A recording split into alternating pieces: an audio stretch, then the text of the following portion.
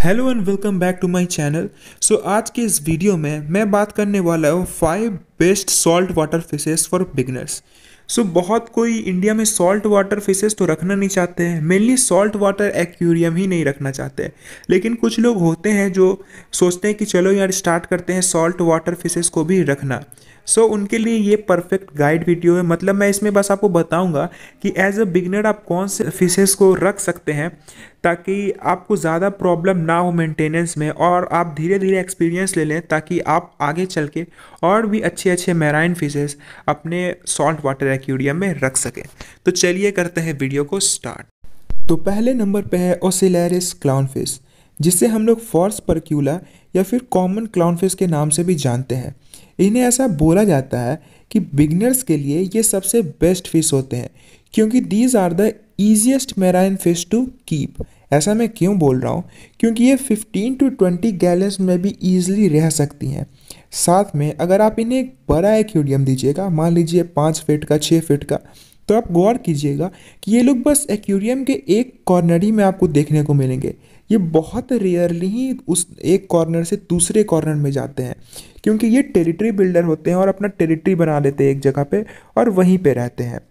सो so, अगर मैं बात करूँ तो वाइल्ड कॉड जो क्लाउन फ़िश होती है वो ज़्यादा महँगी बिकती है as compare to aquarium breeded लेकिन बिगनर्स के तौर पे आपको वाइल्ड कॉड क्लाउन फ़िश नहीं लेना है। आपको लेना है एक्यूरियम ब्रीडेड क्योंकि एक्यूरियम ब्रीडेड जो होती है ना वो ईजिली फीडिंग ले लेती है। लेकिन वाइल्ड कॉट जो होती है वो जल्दी फीडिंग नहीं लेती है। क्योंकि एक्वेरियम ब्रीडेड उस तरीके के हैबिटेट में रहने के लिए पहले से रेडी होती है। लेकिन जो वाइल्ड कॉट होती है वो वाइल्ड से पकड़ के आई है तो वो जल्दी फीडिंग नहीं लेती है। तो मे भी हो सकता है कि आपकी क्लाउन फ़िश मर जाएगी क्योंकि आप अभी स्टार्ट ही किए हैं सॉल्ट वाटर फिशेस को रखना और उनके बारे में आपको ज़्यादा डिटेल्स नहीं पता है।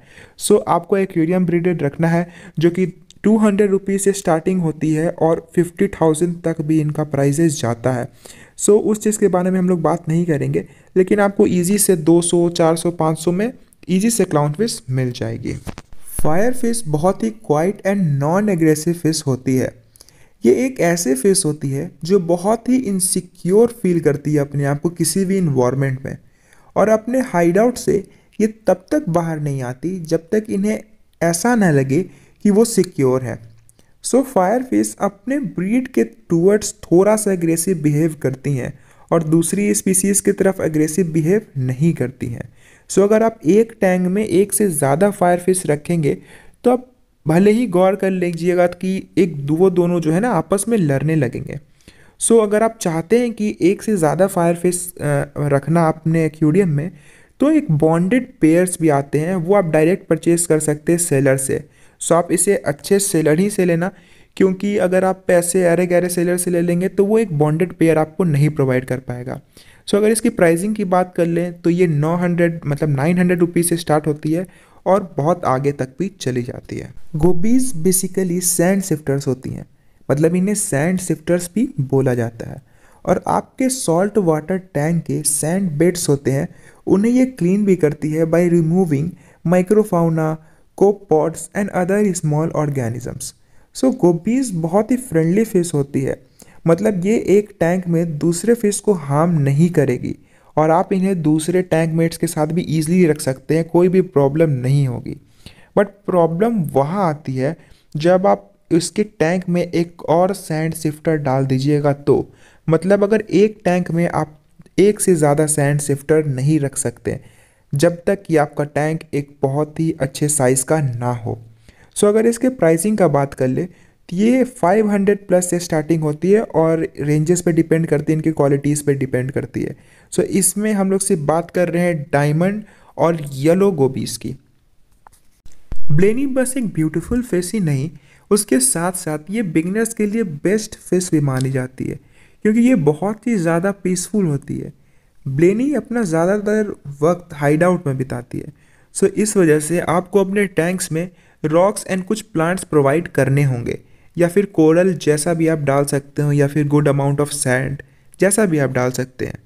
ये भी कुछ कुछ गुब्बीज़ की तरह होती हैं। मेरे कहने का मतलब है कि दूसरे ब्रीड के साथ तो पीसफुल रहती हैं लेकिन खुद के ब्रीड के साथ ये एक कंपटीशन की तरह उन्हें देखती है और वो एक दूसरे से कभी कभी लड़ भी जाते हैं।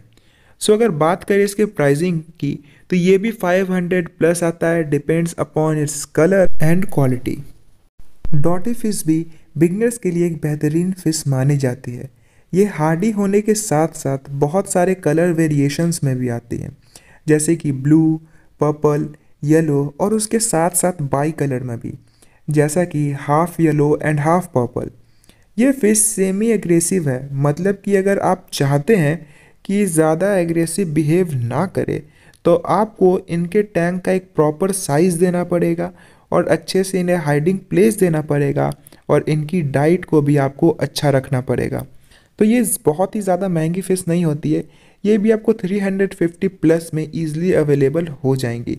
Depends upon its colour and quality so thank you guys for watching this video आज का वीडियो बस यहीं तक था। मिलेंगे फिर एक नई वीडियो में। जब तक के लिए बाय।